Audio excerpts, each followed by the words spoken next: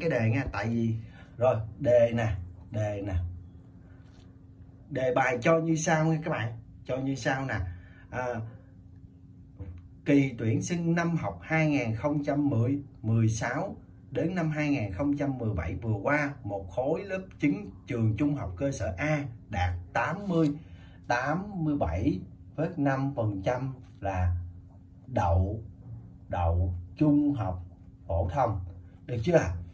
Tiếp theo, số học sinh, số học sinh học sinh không đậu không đậu không đậu vào trung học phổ thông là 25 học học sinh. Tính, người ta kêu tính số học sinh. Học sinh gì à? Học sinh đậu, học sinh đậu, số học sinh học sinh đậu.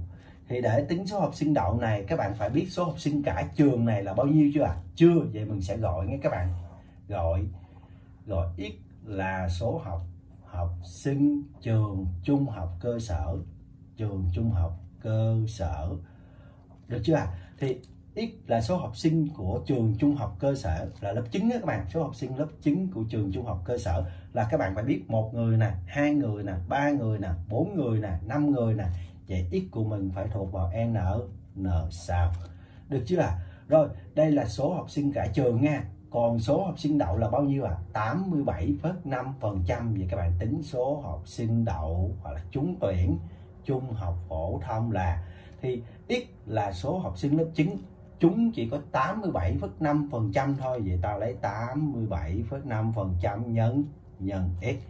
Rồi tiếp theo số học sinh không đậu là bao nhiêu à 20 25 vậy ta có theo đề bài theo đề bài ta ta có được chưa? Học sinh cả trường nè.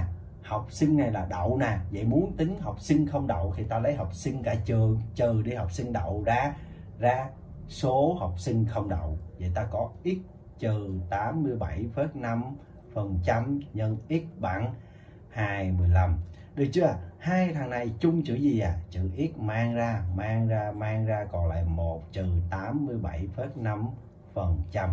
Và các bạn bấm máy tính giúp lại cái hàng này. 1 trừ 87 phần trăm. Được chưa? 1 trừ 87 phần trăm chính là 1 trừ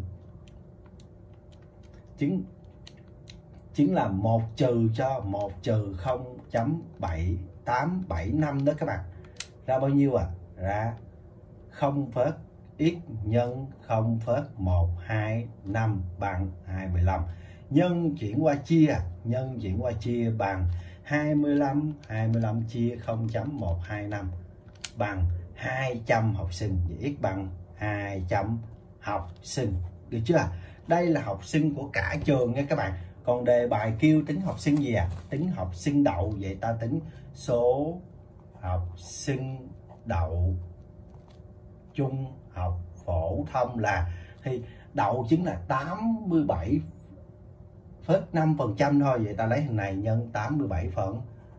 Nhân 87 phớt 5 phần phần trăm nha các bạn. Ok chưa? Ok không ạ? À? rồi, ok nha các bạn.